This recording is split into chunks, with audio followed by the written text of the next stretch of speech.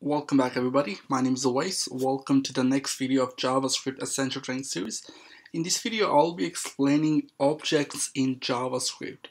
Well, JavaScript is an object-oriented programming language. A programming language can be called object-oriented if it provides four basic capabilities to developers. The first one, encapsulation, aggregation, inheritance, and polymorphism. Now, encapsulation in JavaScript means the capability to store related information, whether data or methods, together in an object.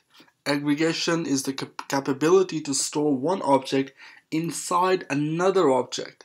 And we have inheritance, it's capability of a class to rely upon another class. Polymorphism, the capability to write one function or a method that works in a variety of different ways.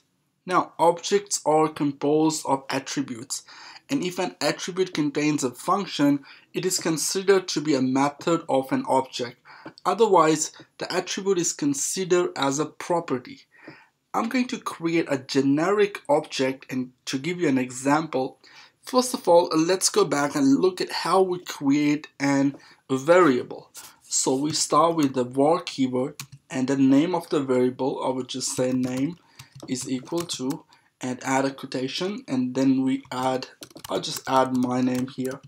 Now this is a variable and then I'll create another variable. I will say age is equal to let's say 28 let's add another variable. I'll just say profession is equal to like programmer? Am I a programmer? I think so. So programmer. So let's say I'm making these some um, these three regular variables name age profession and it's just creating those three variables in the memory. I realize that these belongs together. So these are the properties of a same person okay? So it would be nice if I could enclose them in a larger object now I could do this in an array because arrays are an object as well, but I don't want to deal with the zeros, one and two, the index based, right?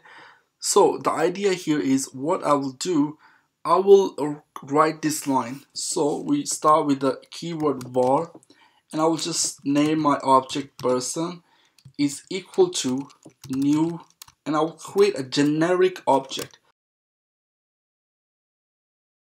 And add parentheses and a semicolon. Now we have created a object in the memory now. To populate this object, we can add values like this. So I'm going to type person, which is an object name, dot, and then the type of the variable I want to create.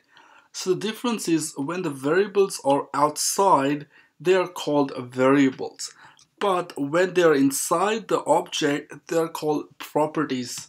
So we create another property of a person. I'll just say p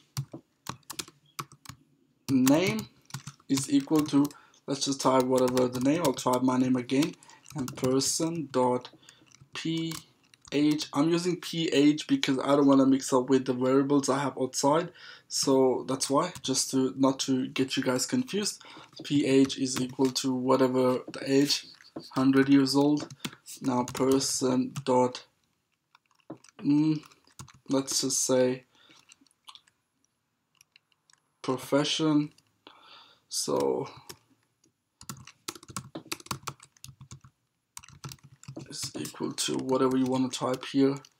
So I'll just say student. And now we have actually added the properties of the person.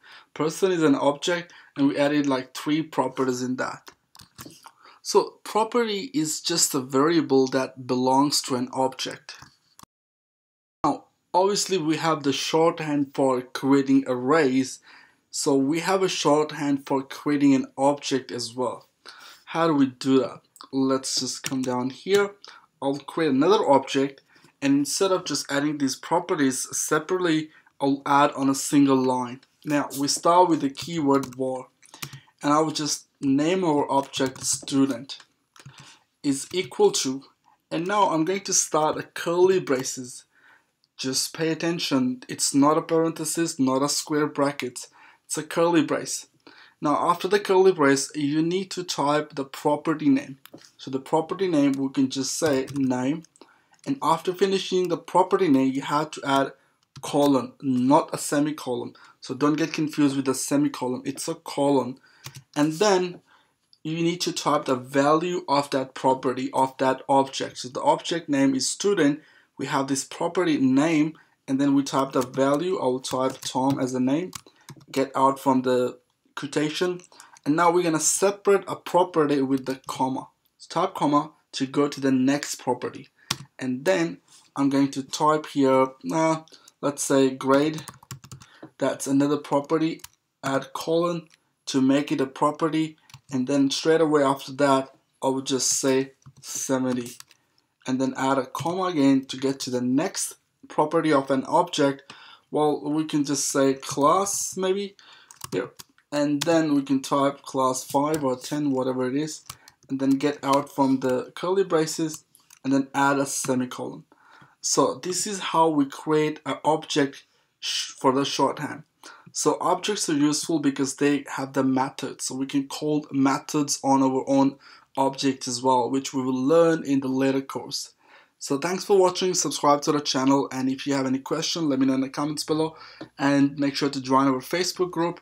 Thanks for watching guys, and I'll talk to you guys in the next one.